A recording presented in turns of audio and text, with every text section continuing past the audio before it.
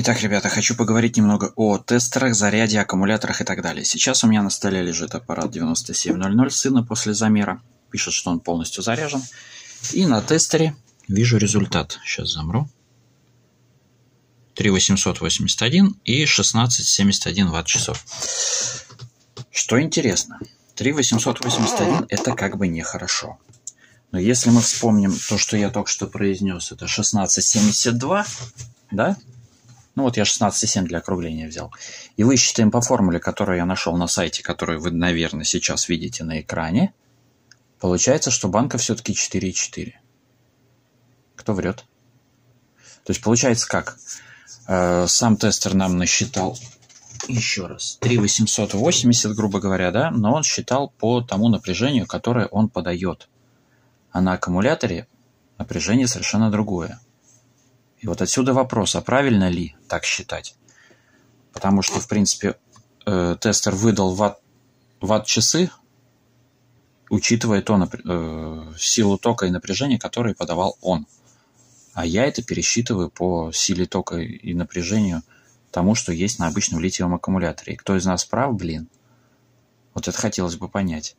Но вот понятна логика производителя. Они, конечно, берут вот эту цифру, потому что она им приятней.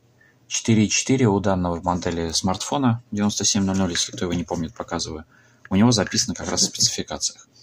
И данная цифра легко получается, если вот это вот с тестера данные, блин, опять забыл сколько, 16,7, разделить на 3,8, это стандартное напряжение на аккумуляторе литий-ион, литий-полимер последнего времени. Раньше было 3,7, теперь 3,8. Подняли их, чтобы больше влезало, короче.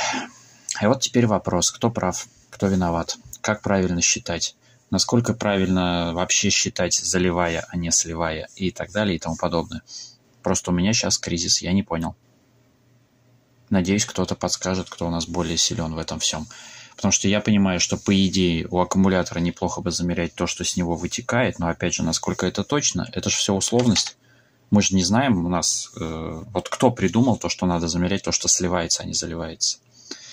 Ну а также всплывают потери от провода. Провод длинный, да, видим? От точности настройки этого свистка, ну, как его люди называют, то есть тестера. Ну и вообще вот от всего-всего-всего.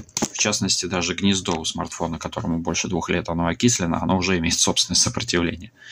Вся система, плата и шлейфа и так далее в смартфоне то же самое все это имеют. Короче, вопрос на засыпку. Кто умный, кто подскажет. И это видео не где я рассказываю, а где я с вами советуюсь. Всем спасибо, это Латуха, всем удачи. А у меня 8.51 утра. Всем чао.